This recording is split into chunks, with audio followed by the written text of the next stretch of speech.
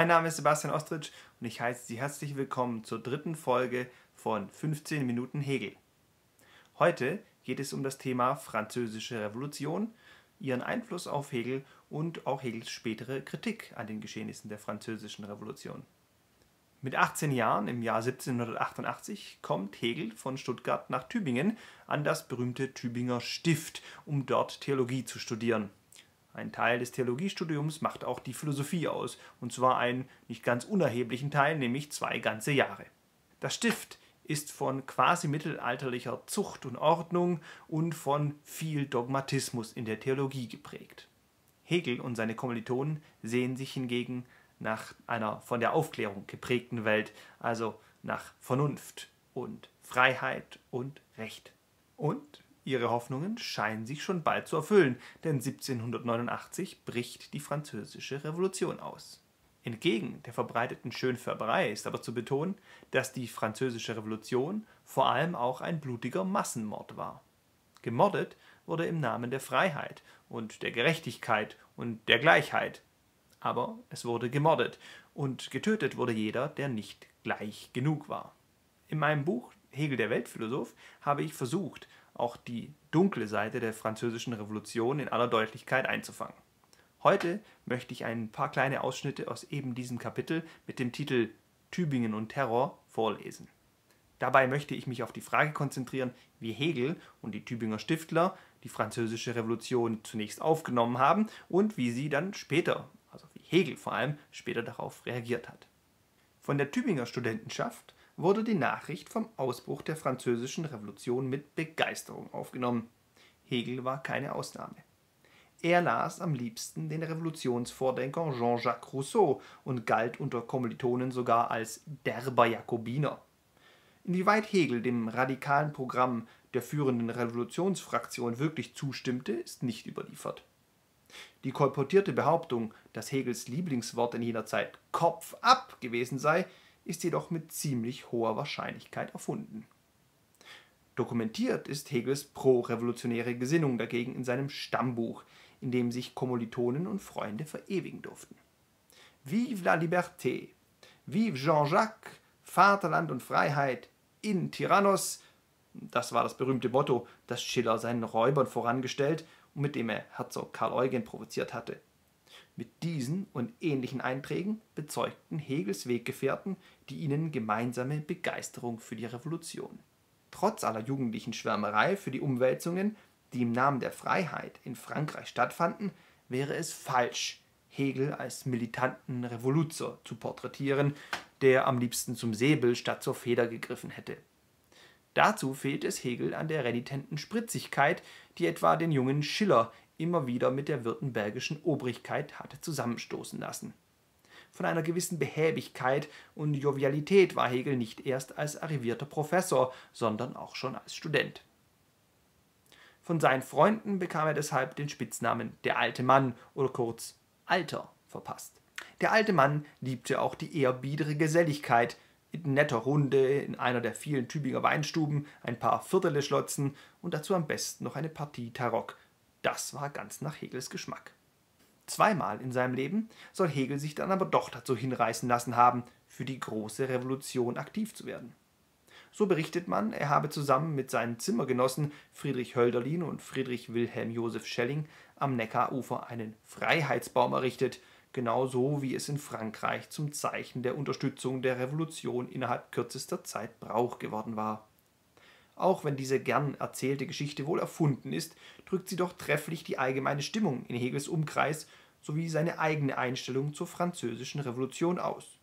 Sicher ist nämlich, dass im Stift nach französischem Vorbild ein politischer Club gegründet wurde, an dem auch Hegel teilnahm.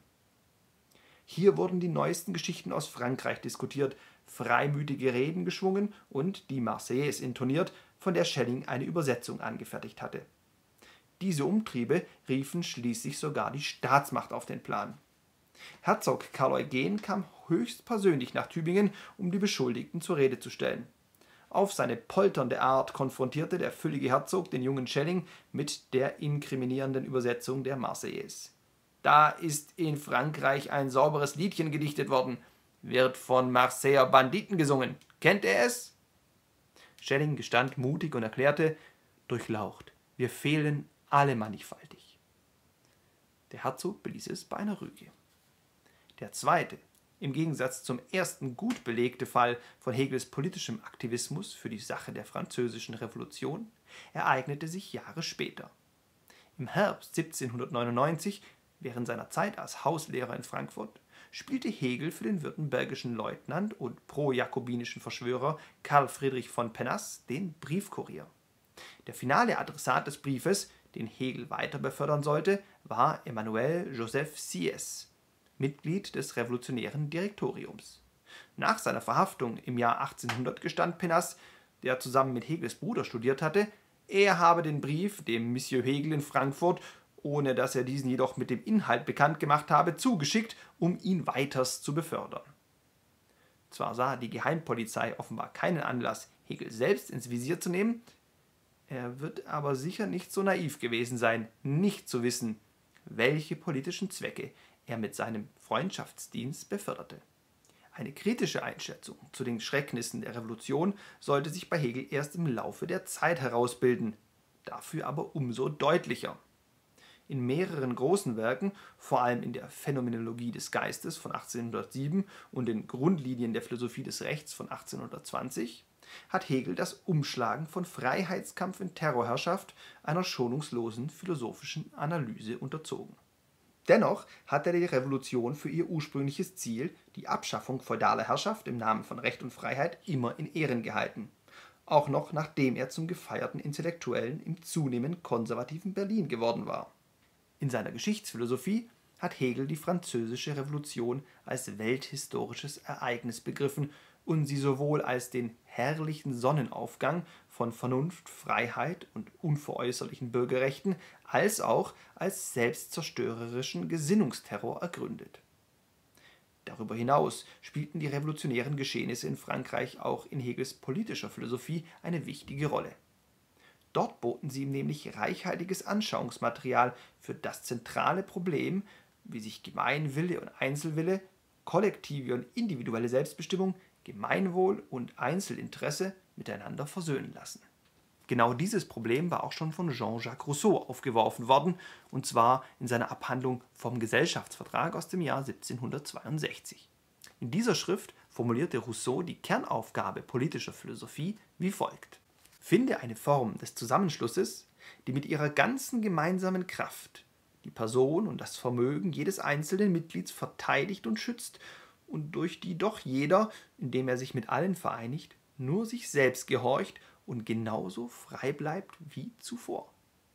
Mit den Grundlinien der Philosophie des Rechts oder kurz der Rechtsphilosophie wird Hegel Ende 1820 eine ausgearbeitete Philosophie der Gesellschaft vorlegen, die man als Antwort auf die Rousseau'sche Frage lesen kann. In der Rechtsphilosophie baut Hegel, wie schon Rousseau, auf den Begriff des Willens auf. Allerdings stellt Hegel deutlicher heraus, dass es vor allem auf den freien Willen ankommt. Vom richtigen Begriff des freien Willens hängt das rechte Verständnis einer freien und gerechten Gesellschaft ab. Umgekehrt gilt, allen Deformationen in der politischen Wirklichkeit liegt auch ein verkrüppelter Freiheitsbegriff zugrunde. Es sind zwei wechselseitig aufeinander verweisende Aspekte, die den Begriff des freien Willens für Hegel ausmachen. Der erste Aspekt ist die Fähigkeit zur Abstraktion und Negation zum Nein sagen. Dies ist die Freiheit, dass ich mich von allem losmachen, alle Zwecke aufgeben, von allem abstrahieren kann. Es geht also um das Verneinen können, und zwar sowohl im Denken als auch im Wollen. Wer nur nach diesem Aspekt der Willensfreiheit lebte, würde Vorstellungen und Gedanken ebenso von sich weisen wie im Inneren auftauchende Bedürfnisse oder Begierden.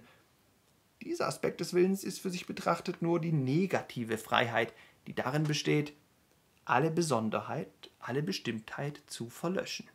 Wenn es allein bei diesem Abstrahieren, Verneinen, Auslöschen bleibt, dann entwickelt sich der Begriff des freien Willens, sobald er in die Wirklichkeit tritt, zum religiösen oder politischen Fanatismus, der sich in einer Furie des Zerstörens manifestiert. Zu diesem zerstörerischen Fanatismus gehört, so Hegel, zum Beispiel die Schreckenszeit der Französischen Revolution, in welcher aller Unterschiede der Talente der Autorität aufgehoben werden sollte. Diese Zeit war eine Erzitterung, ein Erbeben, eine Unverträglichkeit gegen jedes Besondere. Denn der Fanatismus will ein Abstraktes, keine Gliederung. Wo sich Unterschiede hervortun, findet er dieses seiner Unbestimmtheit zuwider und hebt sie auf. Deswegen hat auch das Volk in der Revolution die Institutionen, die es selbst gemacht hatte, wieder zerstört, weil jede Institution dem abstrakten Selbstbewusstsein der Gleichheit zuwider ist. So also Hegel über die französische Revolution. Hier haben wir erneut ein Beispiel für Hegels Dialektik vor uns. Dialektik bei Hegel ist, wie wir in der letzten Sendung gesehen haben, nicht das schematische Geklapper von These, Antithese und Synthese, sondern die Bewegung des Denkens.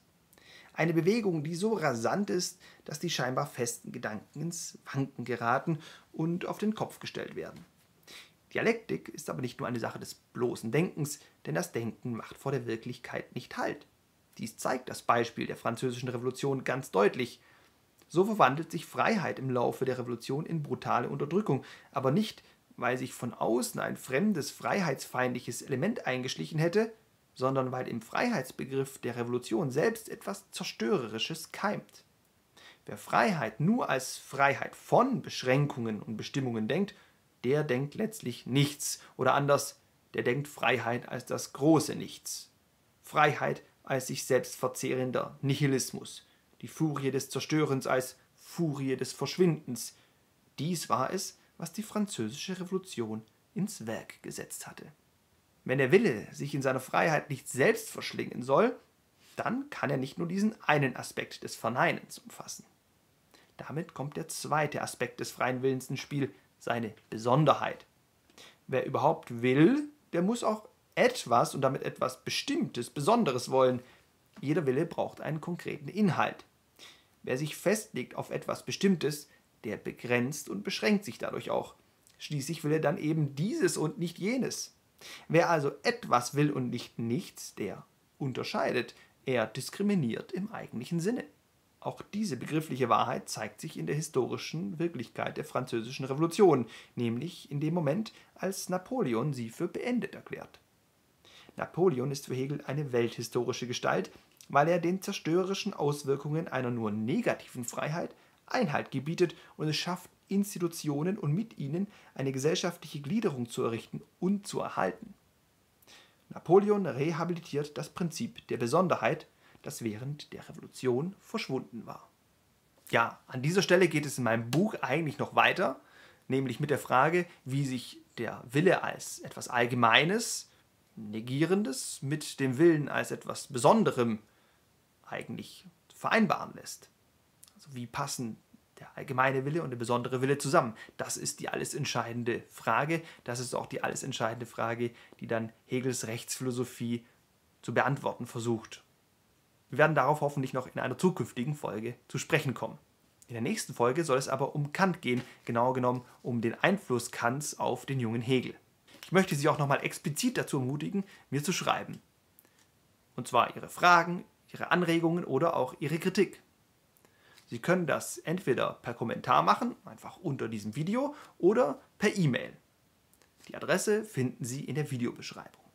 Wenn Ihnen dieses Video gefallen hat, dann hinterlassen Sie bitte unbedingt ein Like, einen Daumen nach oben, teilen Sie es und abonnieren Sie den Kanal, damit Sie auf dem Laufenden bleiben. Herzlichen Dank für Ihr Interesse, bis zum nächsten Mal.